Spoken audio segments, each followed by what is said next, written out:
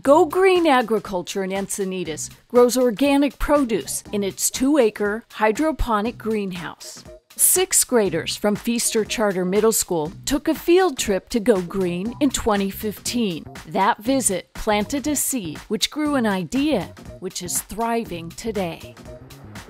A hydroponic greenhouse circulating water system with nutrients. Talk about a cool classroom. I thought it would be really fun just to learn how to find new ways to grow agriculture. Sixth and seventh graders can take agri-science as an elective. Everything that's in there right now, the students started from seed. Go Green donated the equipment inside.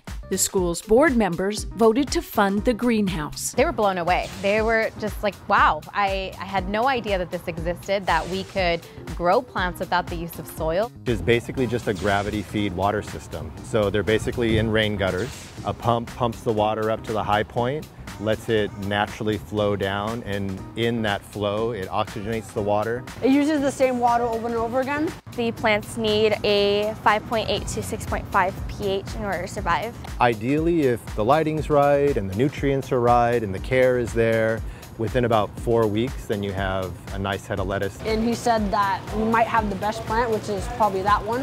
And it's just fascinating because it's like from a little seed, it could turn into something so big and wonderful. It's really a cross-curricular experience. So students get to learn science, they get to incorporate technology, their engineering skills. So the next phase is for the students to figure out ways to market it and to also present it to our community. It's amazing what can grow from a partnership.